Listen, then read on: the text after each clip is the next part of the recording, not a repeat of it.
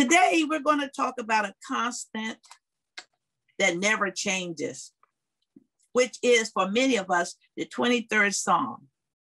If any other scripture in the Bible is outside of the one that says about loving people in John 16, this is the one verse that even people who don't go to church or people are not Christians have heard or know of.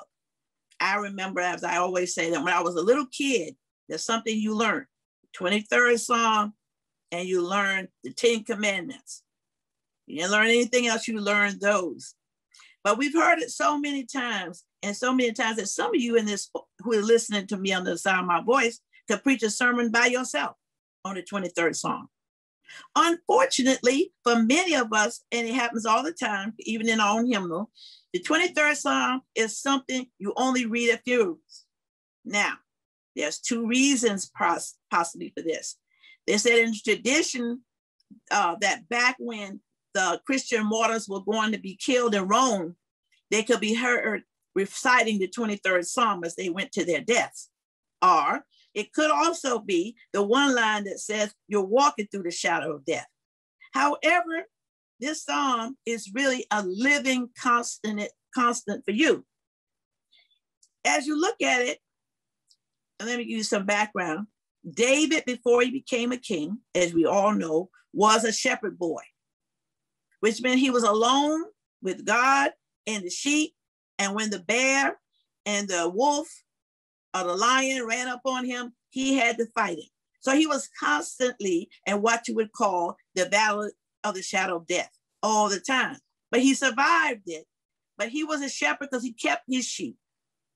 All the time, I like to see where you use the context. Even Jesus says, I am the shepherd. These are items that people can relate to and tell us who they are. But in this constant and in this time of confusion and upsetment around COVID 19 or what changes every day, that is a one constant in our life is to read this song.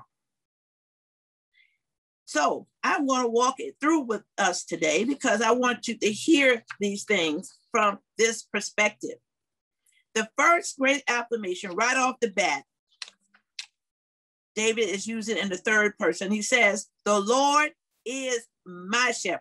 He didn't say it's your shepherd, nothing else. He's saying that the Lord is my shepherd. I believe in God. I believe God cares. And I believe that God cares about me because the Lord is my shepherd. There's a guy who teaches children's uh, scriptures. And what he does is he puts up this one, put up one hand and takes the other hand and he says, The Lord is my shepherd. The Lord is my shepherd. So that's how he gets little kids, little kids to remember it. The Lord is my shepherd. Then you hold on to the last, your little finger. That's what we need to hold on, that constant. Now, let me tell you something about sheep, okay? Sheep are not really intelligent animals. They will jump off a cliff if you're not in front of them. However, even ourselves, we all like act like sheep sometimes, right? We just wander around and walk around and run around and have no direction.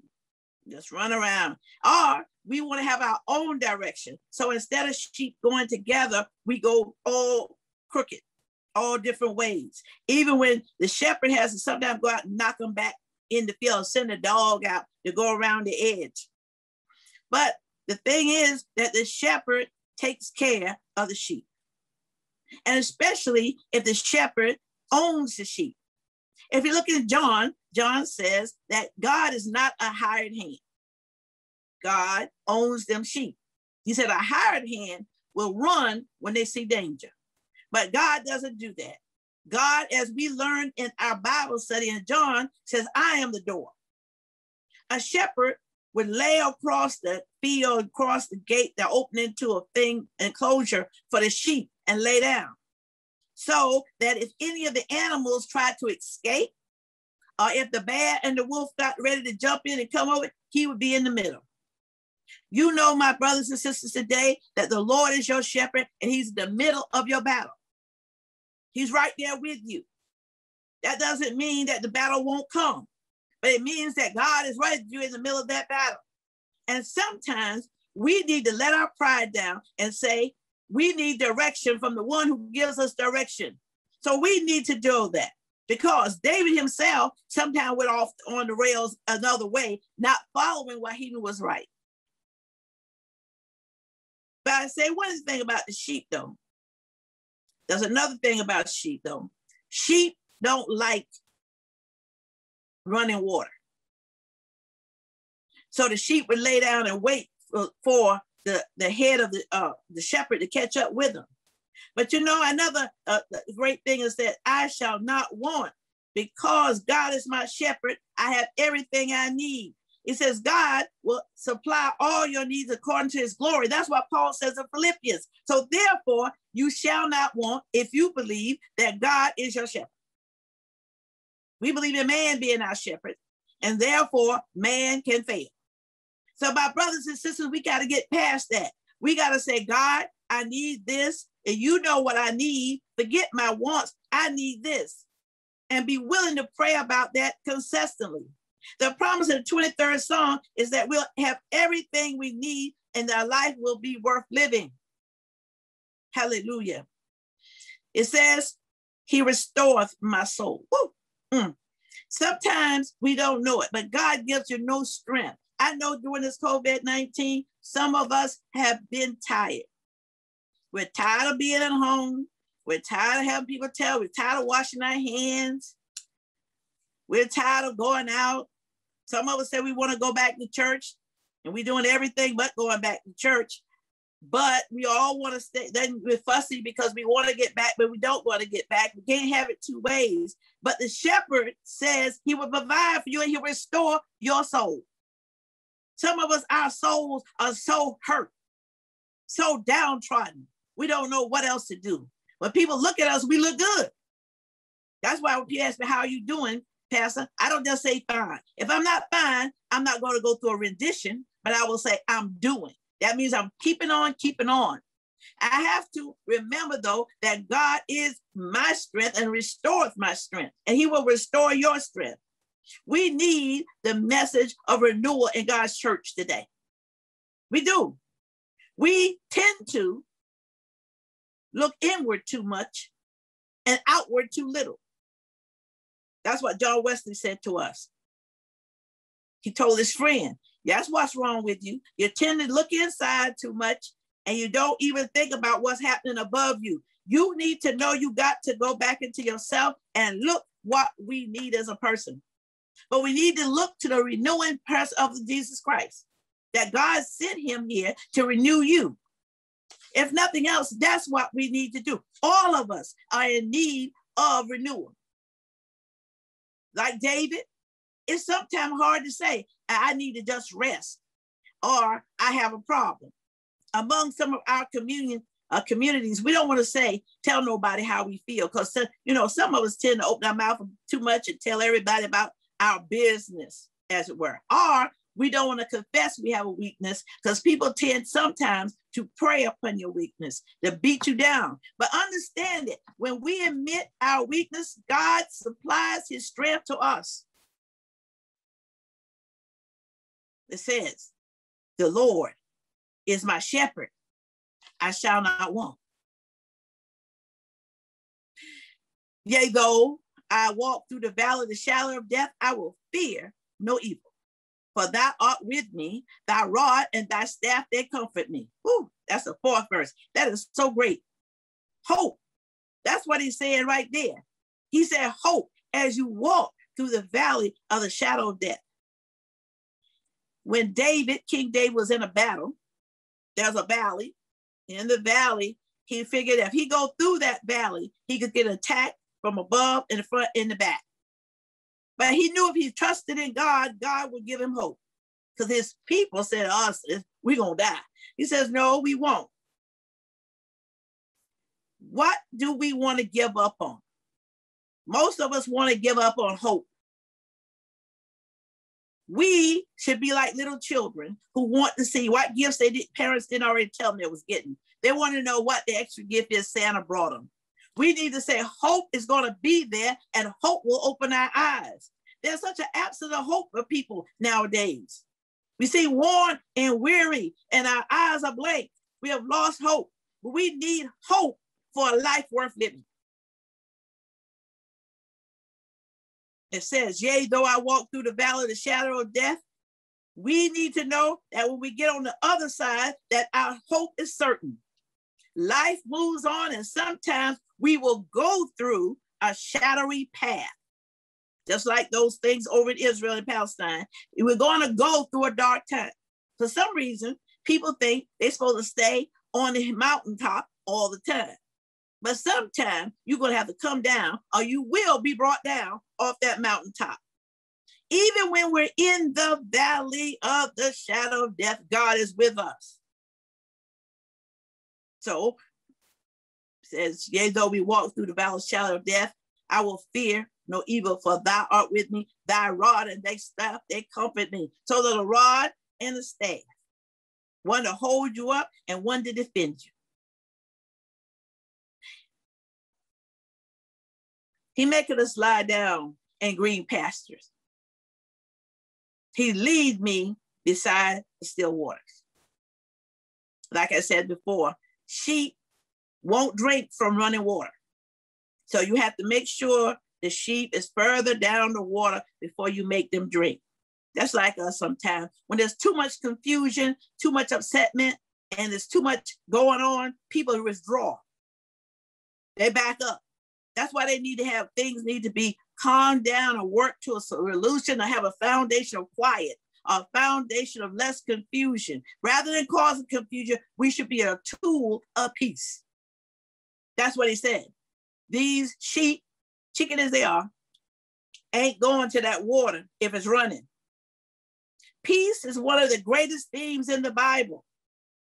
Jesus in John said, Peace I leave with you, my peace I give you. Let not your heart be troubled, neither let us be afraid.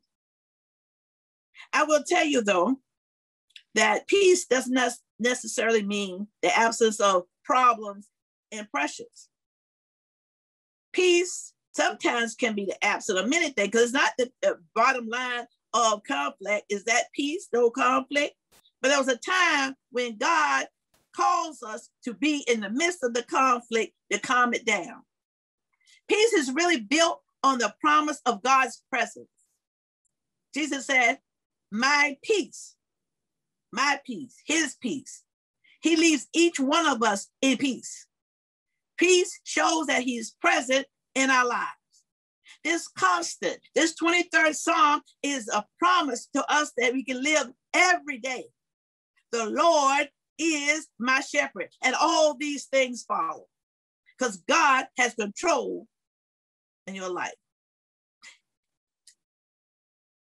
He making me die down in green pastures. Well, sheep don't know their limits. They'll walk around never resting. And so the shepherd sometimes have to go out there and say, stop, stop, stop. It's true. You just check it out. They have to make them lie down. And then sometimes God makes us lie down. Sometimes when we get sick or there's a great loss, God don't give us, they say, sometimes it says, God may not give us more than we can bear. A lot of people run around and say that.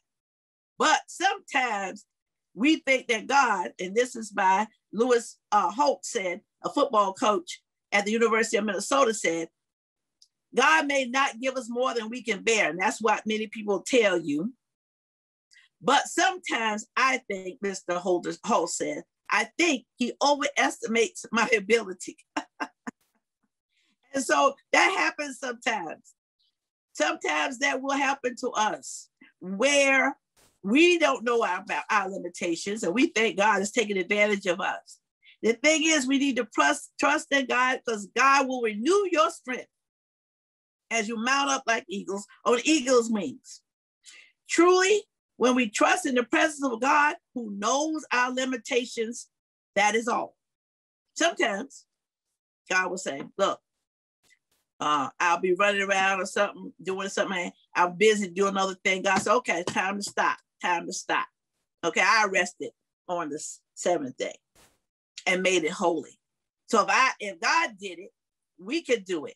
I mean, there's things we got to keep on working at, but we need to have a time of Sabbath on sometimes where we don't do nothing but listen to the Lord.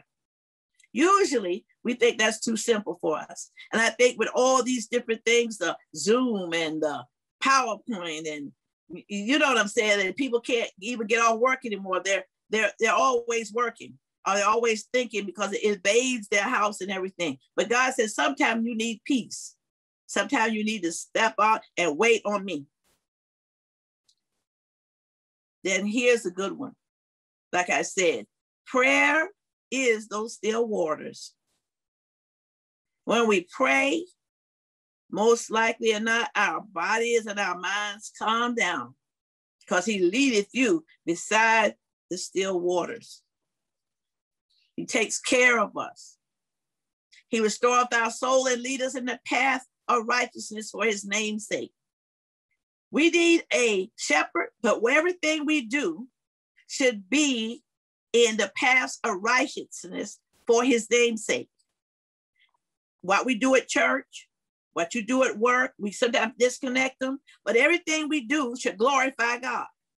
We should walk that right path as best we can so that God knows that we're looking for his righteousness, not our righteousness. We walk around and brag how righteous we are. No, no, you may be righteous, but God knows whether you're righteous or not. We need to walk around knowing, hallelujah, hallelujah, let's walk with the Lord. Suffering is not always, will not always turn us to God, but sometimes it can. Optimism in our lives is believing that everything will work out. Hope is conviction that even if things don't work out, God is still at work in us. Then it says, Thy rod and thy staff, they comfort me. And even in his rod and his staff, the, the ancient shepherd took a rod and his staff everywhere he went. He knew that he would have to fight on his own. And sometimes there's situations where I can't help all the time, but I think I'll try in God's strength to help me talk to somebody, to be a good under shepherd of the Lord. But then here's what I love a lot. It says that you prepare a table before me in the presence of mine enemies. That anointed my head with oil. Mm, mm, my cup runneth over. There's a whole thing to talk about preparing a table in the presence of mine enemy. But I love this that I anointed my head with oil. That means he anointed you and appointed you, and that the cup you have runneth over. Why do why not complain? But you know God will bring it back to the center. In the midst of it, you have your head anointed and your cup runneth over. They said the sheep have to have their heads anointed because of the different insects that run around. Sometimes we need to bow our heads before the Lord so the Lord can anoint us. Hey, hey. In the midst of it, we have to do what the Lord wants us to do and be a person of worth. The 23rd Psalm, if nothing else, we tell anybody, people need to read this. You don't read nothing else. You need to read this maybe every day for a week and read it softly to yourself and say, What is it saying to me today? Every time Every time you go through something, you say, Well, I'm gonna read this this morning. I'll bet you, you read it over seven days, you'll feel a different thing in your spirit and in your heart. You'll feel it. You'll feel it. Surely goodness and mercy shall follow me all the days of my life, and I will dwell in the house of the Lord forever. Hmm. Many of us aren't what we used to be, but we aren't what we're going to be, we have two things in our heart regret and gratitude. All of us, no matter how old we are, are still on a journey in our relationship with the Lord. So he says, Surely in goodness will follow me all the days of my life. The verb in the Hebrew actually says to pursue God. There's a song that says, I'm chasing after you. Our job every day is to chase after God, to run after him, to try to catch him. Say, I'm, I'm running. I'm running because we want his grace. We want his loving kindness. What a God. He's not hiding. He's not hiding. He's seeking us, we seeking God. Sometimes we can't find him because we're not seeking hard enough. But we need to know that we're not ashamed because God wants us with him. And we need to pursue by reading his word, study his word, doing the prayers, walking with other people who are not ready. Because sometimes when you help somebody else, you'll find a whole new thing that happened for you. Then the promise. The promise of God is now and forever that I will dwell in the house of the Lord forever. The concept of eternal life is not really seen as much in the New Te- Old Testament as it is in the New Testament. Old Testament as in the New Testament. But the psalmist says that God's he serves doesn't end at the grave.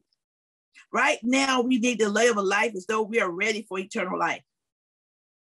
We need to work at it. So you said, Pastor, well, what you want us to do? Well, here's what I want you to do. We need to act as though things like our church, our church is our church, not just me, it's not just certain people, it is our church. So therefore, we need to work and mold it together, that we need to work for God's righteousness. We need to, and we can, we need to come to church. We need to be involved and we and help out if there's a problem at the church, help it out so that we can get the those who need to come before the Lord.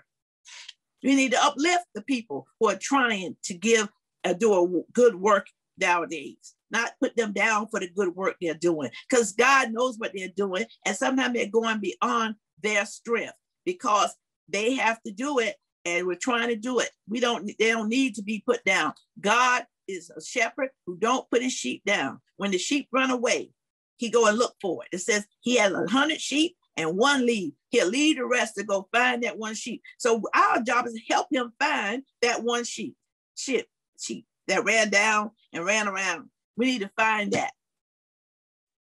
On another hand, we need to know who our shepherd is and we need to study.